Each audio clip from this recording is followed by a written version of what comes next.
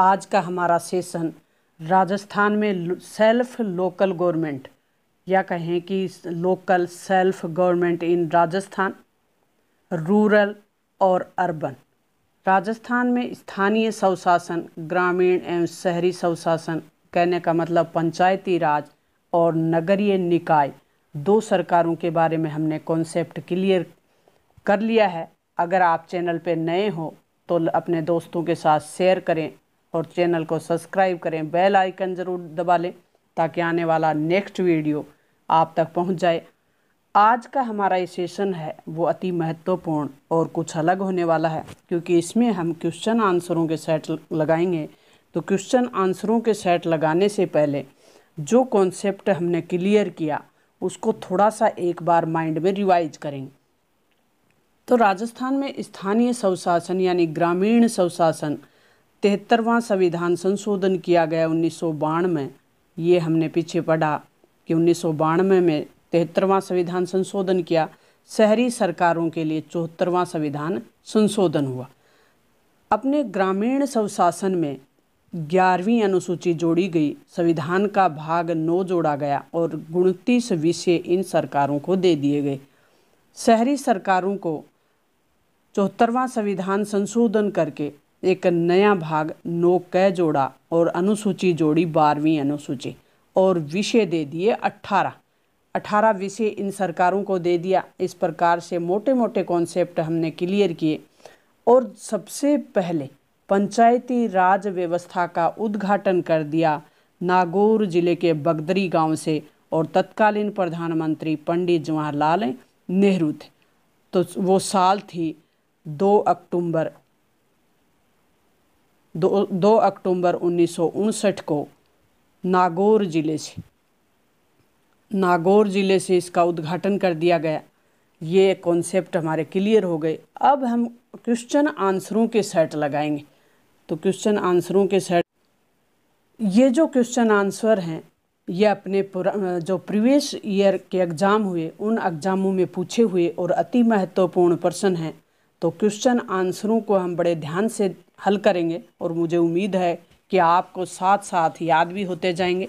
जो जिन बच्चों के लिए ये जो चैप्टर है, ये नया है तो वो बड़े धैर्य के साथ सुने। सरल और सहज भाव से आपको समझाने का प्रयास किया जाएगा। आप पेन कॉपी ले लें, नोट्स बनाते रहें या साथ साथ हल करते जाएँ। उससे पहले आपके लिए वीडियो बनाया जा चुका है। यानी इस चैप्टर से संबंधित, यानी लोकल गवर्नमेंट से संबंधित आपके कॉन्सेप्ट पूरे क्लियर करवाए गए हैं। आप नए हैं तो पहले उस वीडियो को देख लें। तो हम चलते हैं पहले प्रश्न पे। वर्ष 2020-21 तक शहरी निकायों के चुनाव कितनी बार हो चुके हैं? शहरी निकायों का पूछा है। तो शहरी निकायों के जो चुनाव हैं, वो अपने तेरह बार हो चुके हैं 2020-21 तक। नेक्स्ट हमारा प्रश्न है कि पंचायती राज व्यवस्था है और ये previous year patwari exam, Gram Sevak exam में पूछा हुआ प्रश्न है। कि जो पंचायती राज व्यवस्था है, उसका दूसरा नाम क्या है? तो पंचायती राज व्यवस्था को जब हमने लोकल गवर्नमेंट पढ़ी, तब भी मैंने बता दिया था कि पंचायती राज व्यवस्था के दो नाम हैं, ग्रामीण शासन, गाँव की सरकार और स्थानीय शासन यानी पंचायती राज। तो पंचायती राज का दूसरा नाम है ग्रामीण स्थानीय स्वशासन नेक्स्ट पर्सन अपना है बलवंत राय मेहता समिति से। तो बलवंत राय मेहता समिति की स्थापना किस लिए हुई थी? तो बलवंत राय मेहता समिति ग्राम सेवक एग्ज़ाम में प्रीवियस ईयर में पूछा हुआ है। तो लोकतांत्रिक विकेंद्रीकरण के लिए बलवंत राय मेहता समिति की स्थापना हुई थी कि लोकतांत्रिक विकेंद्रीकरण का अर्थ होता है लोकतंत्र में शक्तियों का विभाजन कर देना, बंटवारा कर देना। यानी शक्तियाँ एक ही जगह नहीं हो, केंद्र सरकार के पास शक्तियाँ नहीं हो, उन शक्तियों को राज्यों को भी बांट दें, राज्यों के पास जो शक्तियाँ हैं वो ग्राम पंचायत तक बांट दें, यानी इसको कहते हैं शक्तियों का विकेंद्रीकरण। एक स्तर से दूसरे स्तर पर शक्तियों का विभाजन। राजस्थान में छावनी बोर्ड। नेक्स्ट हमारा प्रश्न है कि राजस्थान में छावनी बोर्ड की स्थापना कहाँ की गई?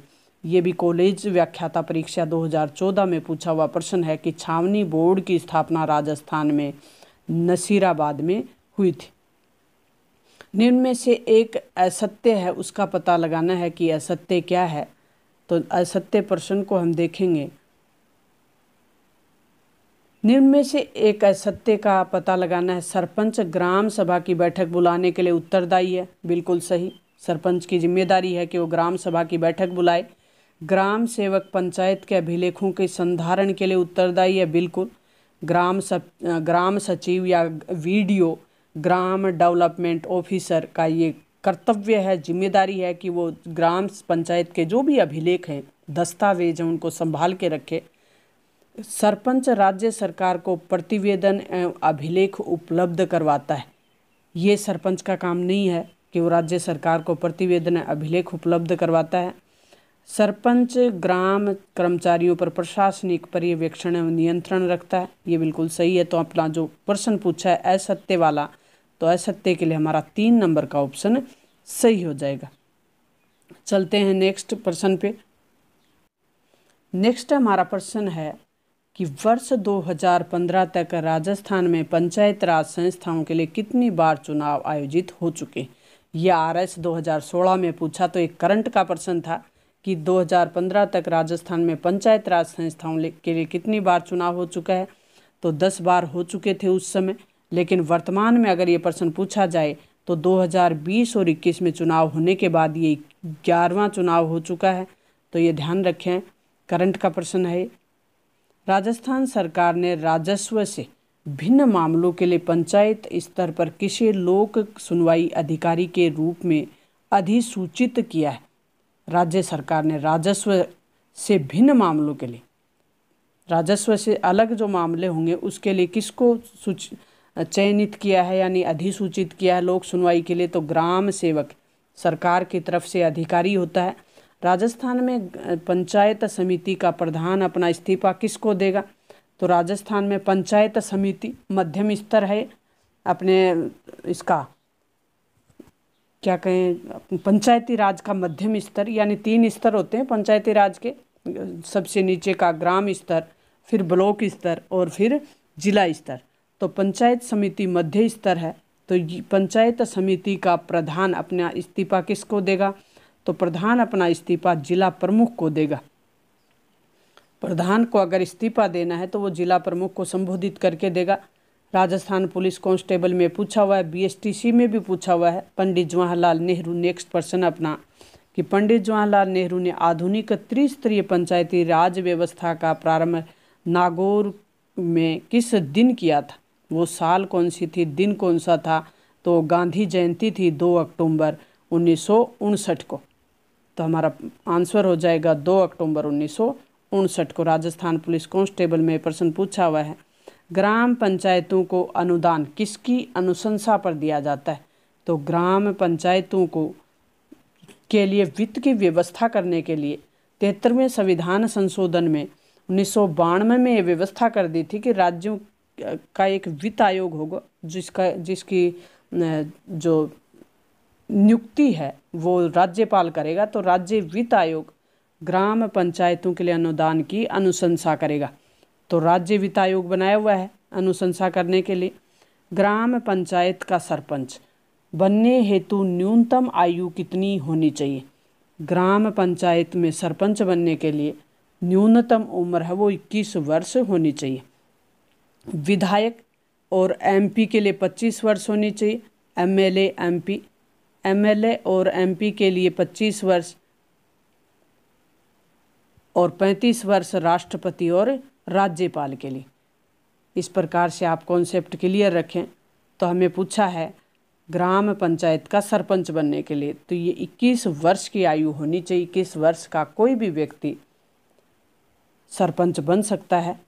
ये कांस्टेबल परीक्षा में पूछा हुआ प्रश्न है। ग्रामीण अंचलों में नागरिकों को स्वयं के मामलों का प्रशासन संचालित करने के लिए दिया गया अधिकार किस संस्था के माध्यम से साकार हुआ है? तो ये ग्राम पंचायत के माध्यम से ये सपना है, साकार हुआ है कि वहाँ के यानी ग्रामीण अंचलों के लोग खुद का शासन खुद संचालित कर रहे हैं। इसे ही सब शासन कहते हैं। तो हमारा ऑप्शन हो जाएगा ग्राम पंचायत। नेक्स्ट प्रश्न है उप सरपंच का निर्वाचन कैसे होता है? तो उप सरपंच का निर्वाचन, निर्वाचित सरपंच और पंच। निर्वाचित होकर जो सरपंच आया है और जो पंच आए हैं वार्डों से, वो मिलकर उप सरपंच का निर्वाचन करते हैं। नेक्स्ट प्रश्न पे चलते हैं, राजस्थान में सर्वप्रथम नगर पालिका की स्थापना कहाँ और कब हुई थी? तो राजस्थान में सर्वप्रथम नगर पालिका की स्थापना माउंट आबू में अठारह सौ चौंसठ में। सबसे पहले नगर पालिका की स्थापना हुई, तब भारत आज़ाद नहीं था। तो तत्कालीन समय अंग्रेज़ी शासन काल के, का समय है ये अठारह माउंट आबू। नेक्स्ट पर्सन पे चलते हम। तहसील स्तर पर भू राजस्व व्यवस्था हेतु नियुक्त सर्वोच्च अधिकारी। तहसील स्तर का भूमि संबंधी जो भी रिकॉर्ड रखना या भू व्यवस्था संबंधी सर्वेक्षण करना या उसके लिए एक नियुक्त अधिकारी है, उसका नाम है तो वो अधिकारी है तहसीलदार। पटवारी एग्ज़ाम में पूछा हुआ प्रश्न है, जिला परिषद का अध्यक्ष कौन होता है? तो जिला परिषद का अध्यक्ष, जिला प्रमुख होता है। नेक्स्ट वीडियो में हम इस कॉन्सेप्ट को क्लियर करेंगे कि जिलाधीश और जिला प्रमुख में क्या अंतर होता है। थोड़ा सा मैं यहाँ भी बता दूँ आपको। जिला प्रमुख जनता द्वारा चुने हुए जो पार्षद हैं, उनके द्वारा चुना हुआ एक राजनीतिक अधिकारी है जिला प्रमुख। और जिलाधीश है वो एक आईएएस ऑफिसर है, एक आईएएस ऑफिसर है जो केंद्र सरकार का प्रतिनिधि है। यानी कहें कि केंद्र सरकार से नियुक्त एक आईएएस ऑफिसर होता है, उसको कहते हैं जिलाधीश और अंग्रेज़ी में कहते हैं कलेक्टर तो इस तरीके से जिला परिषद का अध्यक्ष पूछा गया है। तो जिला प्रमुख, जिला परिषद का अध्यक्ष है, राजनीतिक अध्यक्ष है। राजस्थ राज्य वित्त आयोग अपनी रिपोर्ट किसे देता है? तो राज्य वित्त आयोग है वो अपनी रिपोर्ट राज्यपाल को देगा। क्योंकि नियुक्ति रा, राज्य वित्त आयोग की राज्यपाल द्वारा होती है तो राज्यपाल को ही रिपोर्ट दी जाती है रा, राज्य वित्त आयोग द्वारा। नेक्स्ट हम प्रश्न करेंगे कि नगर निगम के महापौर और उपाध्यक्ष का निर्वाचन किस प्रकार से होता है? उपाध्यक्ष यानी उप महापौर और महापौर नगर निगम का अध्यक्ष महापौर कहलाता है। तो उसकी नियुक्ति किसके द्वारा होती है? तो निर्वाचित जो पार्षद हैं, उनके द्वारा, अपनों में से ही बहुमत द्वारा महापौर और महा उप महापौर होगा, उसकी नियुक्ति होगी। ये प्रश्न क्या है कि कन्फ्यूज़न पैदा करने वाला है कि सरकार ने कई बार व्यवस्था की, इस व्यवस्था में कई बार चेंज किया। एक बार पहले महापौर और उपाध्यक्ष, इनका जो निर्वाचन था, वो सीधा जनता द्वारा प्रत्यक्ष रूप से कर दिया गया था। तो बाद में दोबारा संशोधन करके निर्वाचित पार्षदों में से, यानी कहें कि अप्रत्यक्ष रूप से इनका निर्वाचन होता है तो ये आप ध्यान रखें कॉन्सेप्ट क्लियर रखें। नगर परिषद का अध्यक्ष क्या कहलाता है? तो नगर परिषद का अध्यक्ष सभापति कहलाता है। थर्ड नंबर ऑप्शन हमारा सही हो जाएगा। नगर पालिका अध्यक्ष का जो पद नाम है, उसे अध्यक्ष भी कहते हैं और सभापति भी कह देते हैं। ज़्यादातर अध्यक्ष ही उसका पद नाम है। लेकिन नगर परिषद के अध्यक्ष को सभापति कहते हैं और नगर निगम के अध्यक्ष को महापौर कहा जाता है। तो नगर परिषद का पूछा है तो नगर परिषद का परिषद का जो अध्यक्ष होगा, वो सभापति होगा। नेक्स्ट प्रश्न पे चलते हैं। इंदिरा गांधी पंचायती राज और ग्रामीण विकास संस्थान का कार्यालय है, वो कहाँ स्थित है? तो ये जयपुर में है। इंदिरा गांधी पंचायती राज ग्रामीण विकास संस्थान जयपुर में है। पंचायती राज अधिनियम के अनुसार पंच, उप सरपंच और सरपंच अपना त्याग पत्र किसको सौंपते हैं? तो ये उपखंड का विकास अधिकारी होता है या विकास अधिकारी कहें कि BDO block development officer, third number का ऑप्शन हमारा सही हो जाएगा बीडीओ ब्लॉक ओ है BDO block development officer. Panchayat raj या कहें कि गाँव का सरपंच को अपना इस्तीफा देना हो उप सरपंच का दे, को देना हो या पंच को देना हो वो सब बीडीओ को दे के आएँगे अपना इस्तीफा। तो ये हम हमारा कॉन्सेप्ट क्लियर हो गया कि बीडीओ जो पंचायती राज का मध्य स्तर का एक, एक सरकार द्वारा नियुक्त अधिकारी है block development officer. Panchayati Raj का प्रधान लक्ष्य पंचायती राज का प्रधान लक्ष्य है सत्ता का विकेंद्रीकरण। मैं बड़े ही सरल और सहज तरीके से उन बच्चों को पढ़ाने की कोशिश कर रही हूँ जिनका अभी मज, बेस है, वो कमज़ोर है और वो अपना बेस मज़बूत करना का प्रयास करें कॉन्सेप्ट क्लियर करने का प्रयास करें ताकि सरल और सहज धीरे धीरे अपना काम हो रहा है। मुझे उम्मीद है कि आपको साथ साथ ही याद हो रहा है।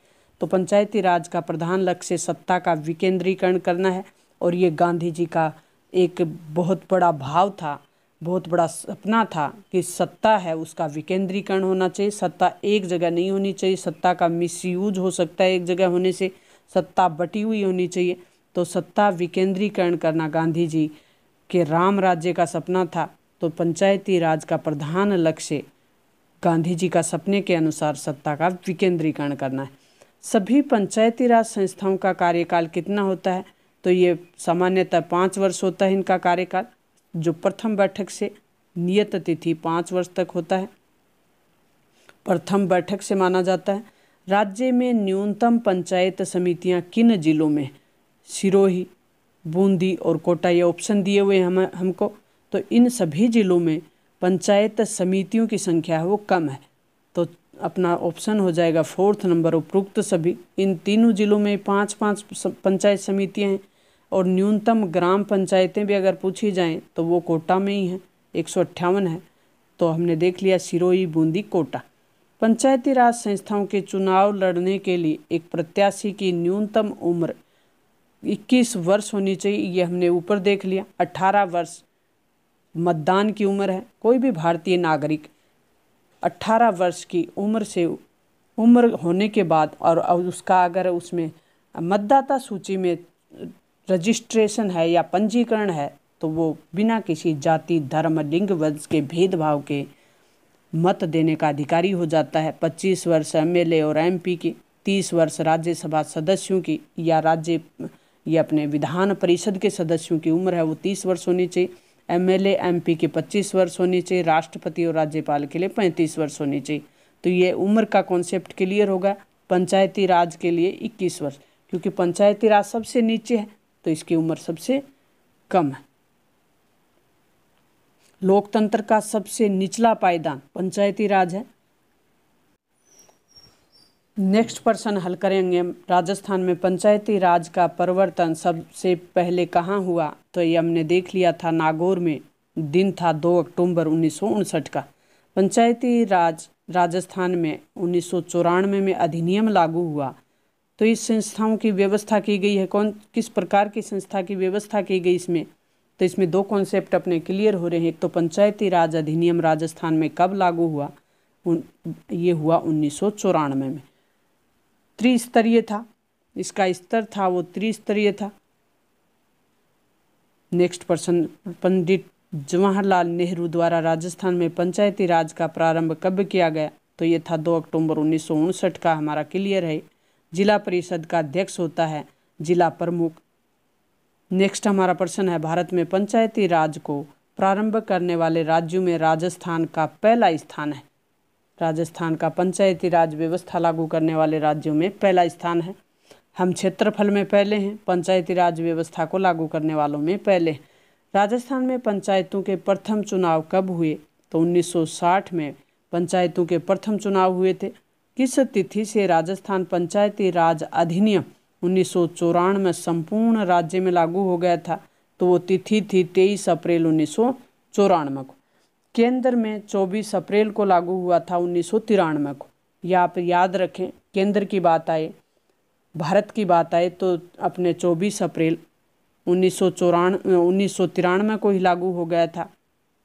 लेकिन भारत में सॉरी, राजस्थान में तेईस अप्रैल उन्नीस में एक साल बाद में और एक दिन कम।